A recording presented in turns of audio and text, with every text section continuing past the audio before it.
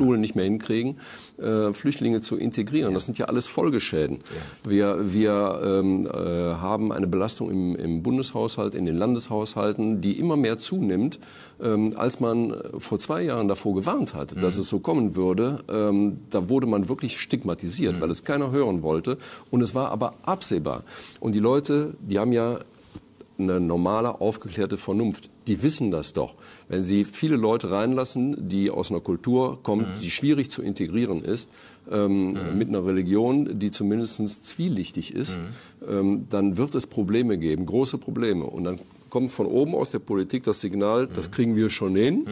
Und da unten müssen die das lösen. Die können es aber nicht Ja, lösen. ja, also äh, und dann kommen ja eben junge Männer aus diesen Kriegsgebieten, Kriegsgebieten, ja. auch mit der Religion im Rücken. Ja. Und da gibt es eben das gefährliche Phänomen, was so keiner sehen will eigentlich, was wir als Hirnforscher natürlich sehen, ist, dass die Persönlichkeit eines Menschen spätestens bis zum 20. Jahr, eigentlich schon bis zum 12. Jahr ausdifferenziert ist. Das heißt, Charakter, Temperament, Persönlichkeit ist durch und auch kaum noch zu verändern. Das heißt, die jungen Menschen, die rüberkommen, da kommt ein irres Gewaltpotenzial rüber.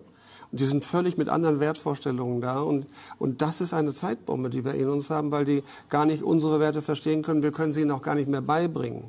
Und wenn wir schon, wir Therapeuten, einen Sinn haben könnten, den ich ja immer in Frage stelle, dann wäre das, dass wir diese Flüchtlingentherapie machen müssen. Aber da kann man auch nicht mehr viel erreichen. Das muss man mal akzeptieren. Aber würden Sie Jetzt dann spiegeln Sie das mal in die Politik rein. Ja, genau, Ja, das wollte ich gerade Sie machen. das mal in die Dann Politik. sitzt, saß hier Claudia Roth, die sagt, wir machen alles, Integration und wir machen Kurse und alles so. Dann ist das Naivität. Das Ist, ja, sicher. Es ist Aber eine, da, du kannst sie nicht, also da ist nicht zu integrieren in vielen Bereichen. Du kannst die Sprache lernen, Ja. aber nicht den Kulturkreis, nicht die, die Religiosität, nicht die, die Überzeugung und schon gar nicht das Gewaltpotenzial. Es kommen Menschen, die haben ein irres aggressives Potenzial, weil die in Kriegen aufgewachsen sind. Die haben gelernt zu kämpfen, die wissen gar nicht, wie Harmonie geht. Und das umzutrainieren, ist eine Irrsinnsaufgabe. Wir fragen mal kurz nach draußen.